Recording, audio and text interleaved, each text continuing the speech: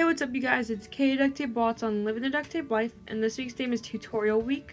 So I decided to do um, a tutorial on flower, or a flower keychain. So these are the supplies that you'll need. You'll need the tape, obviously the X-Acto knife scissors, and then this keychain, little keychain thing um, that you can get at Michael's, Walmart, anywhere. And then you'll need a cutting board. So yeah, let's get started. So the first thing that you're gonna do is cut three strips of tape, your different colors, and cut them to eight inches each.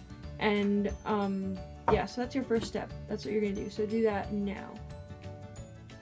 Okay, so now what you're gonna do is you're gonna cut one inch boxes. So to do that, you have to go over one inch and then cut vertically, go over another inch, cut vertically, and do that for all of them um, until you get to the end. And then you wanna go to the side and find the one inch mark and cut across horizontally for each one and that'll form 16 boxes that are one inch each for each strip. And you want to do that for all of them.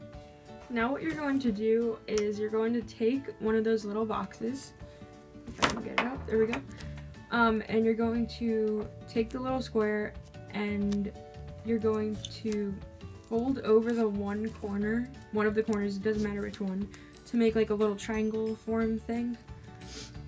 And then you're going to take the other corner, doesn't matter which one again, just has to be next to it, and then you're going to fold it over again to make that.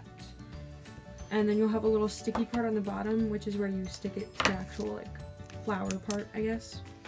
So you're just going to do this for every single one, so I'm going to show you again how I do it. You just fold it over to make the little triangle.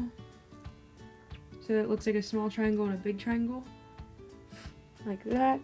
And then you just want to take the little corner, I use the left corner, and then make the little sticky part on the top, and it forms a triangle also.